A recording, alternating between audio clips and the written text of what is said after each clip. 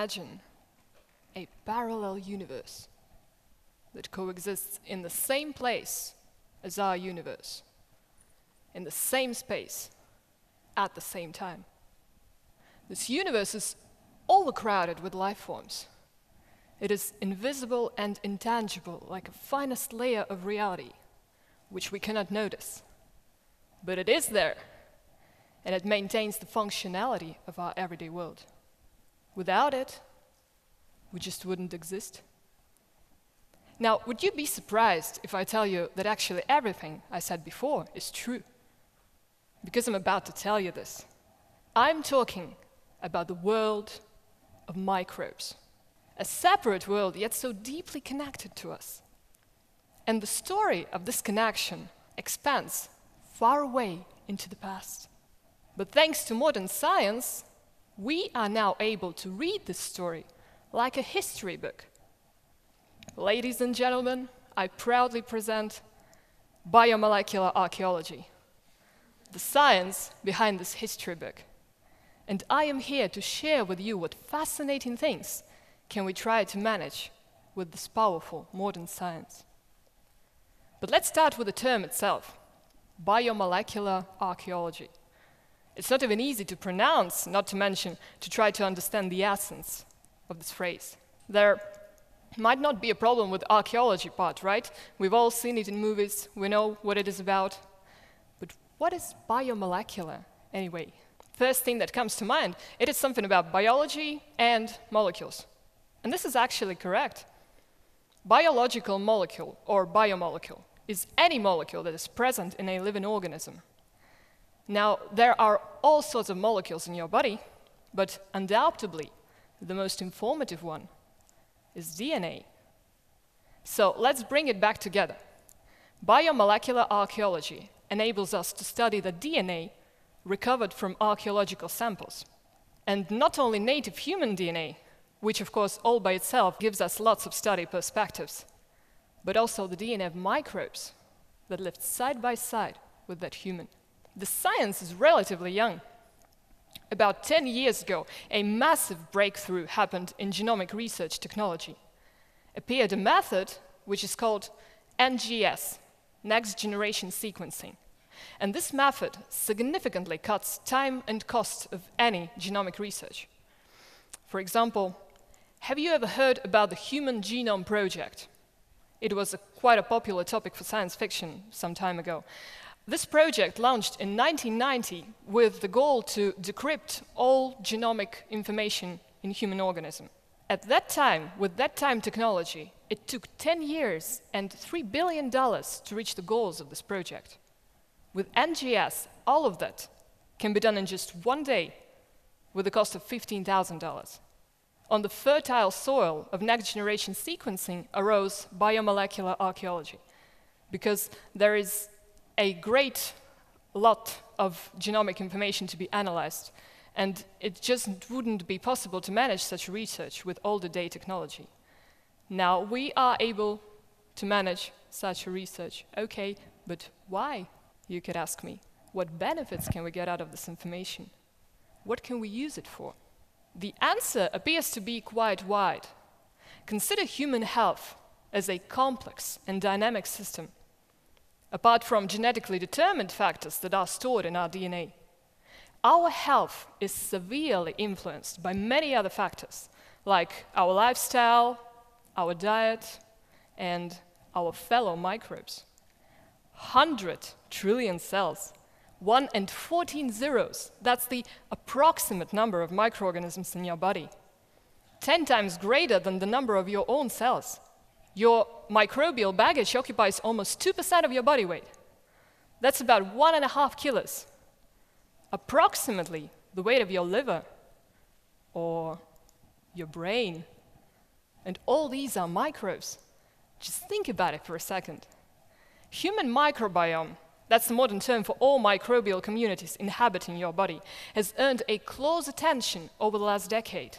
It seems that we are only beginning to discover mysterious role that is given to microbes in the performance of our health. In 2007, National Institute of Health of US launched Human Microbiome Project to finally study its relation to our health conditions.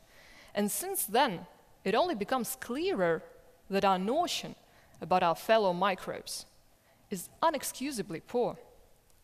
Francis Collins, the director of National Institute of Health, even compared the researchers involved in a project with 15th century explorers discovering the outline of a new continent.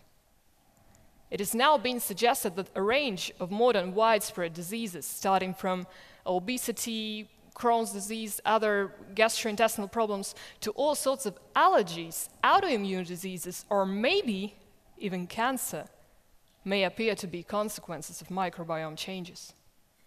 But where do these changes come from? When did they first appear? What was the triggering factor? These are the questions we are trying to find the answer to at the moment. This topic always triggers a memory of my first conscious experience with microbial world around. My mother, like any attentive parent, tried her best to warn me against the invisible dangers of the world. And she told me a story that every time I do not wash my hands before eating something, I become a reason of global microbial migration. Uncountable number of microbial families come together, pack their suitcases, their TVs, their favorite toys, and leave their houses forever to move to a new area, which is thought to be my body. Now, I was a child with a very vivid imagination. And this story influenced me so much that I was obsessed with hand washing for a really long time. And it actually took me years to overcome the thought that I'm doing something wrong when I initiate this microbial migration, and to understand finally that they are actually willing to come. They've got friends there waiting for them. I'm not trying to convince you not to ever wash your hands again. Of course not. But let's try to be moderate with it. We lack this microbial diversity nowadays. And as we know from ecology, the most diverse systems are the most stable ones. This might be one of the reasons for our so called diseases of civilization. And this is exactly the type of hypothesis for biomolecular archaeology to deal with. It turns out that there is a unique archaeological material that so preciously stores the enormous amount of information related to ancient human microbiome. And this material is ancient dental plaque, thanks to the fact that oral cavity hygiene was not on the list of top priorities for humans of the past. Their oral microbiome has already been partly fossilized during their lifetime in the form of dental calculus, which in turn stays in soil as well preserved as the skeletons itself. Sadly, we can't help these fellas anymore, but they can help us by providing unique and precious information about their microbes and their health. And maybe we will have a chance to help others in the future thanks to them. There is one more vast human health related aspect where biomolecular archaeology takes its rightful place. And this field of research expands into the valley of ancient, deadliest pathogens. It is true that the vast majority of microbes either provide us some kind of benefit or do not really care whether there is a human around. But there are some ancient, deadliest microbes that still remain urgent problem nowadays all around the world. For example, Mycobacterium tuberculosis. One and a half million deaths in 2014. And okay, okay, I know the first reaction I always get, like, wait, aren't there antibiotics? Or, I heard there is even a vaccine. Is this disease still dangerous to us after all?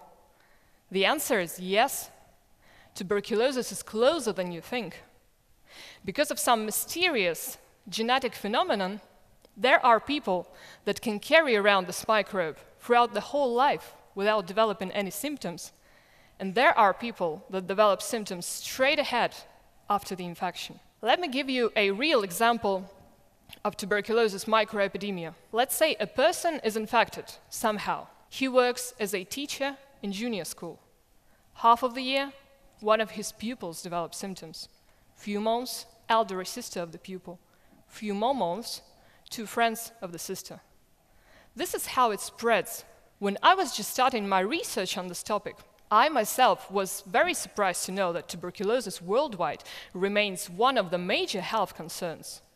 That on the list of infectious diseases, it is the second most common death cause after HIV. Yes, the fight continues. Did you know that we have tuberculosis clinic right here in Latvia, just outside Riga, where many doctors and other specialists fight tuberculosis on a daily basis? To finally beat this harmful bacteria, it is crucial to understand how it evolved, how it developed resistance to antibiotics, how did it spread.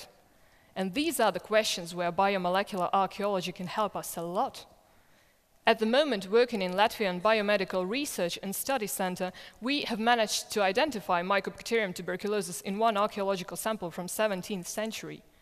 We are now in the process of defining its whole genome so we can understand what type of tuberculosis reigned at that time over Latvian territories and where did it come from. Obviously, biomolecular archaeology impacts humanities sciences as well, such as history and anthropology. These, for example, are the excavations on St. Gertrude's Cemetery a few years ago. They started very spontaneously. There was an idea to build a shopping center on that area, and there was also the information that there might be some medieval burial sites. So Latvian Institute of History received a request to check it out. And they did actually find medieval burial site, quite massive one. Our archaeologists dug out over 500 skeletons and 2,000 more skeletons buried separately in a giant wooden box. But what was it? This couldn't be war because skeletons lacked um, war lasers on their bones. Was it hunger? Epidemia? Archaeology itself cannot take this research any further. We have to intervene with biomolecular methods. Only then can we trace the true reason. The research process that implements the goals of the science is fascinating even by itself. It all starts with ancient bones and teeth from cemeteries all around Latvia. We then cut out small pieces of these bones and shred them in specific scientific mills to get the bone powder.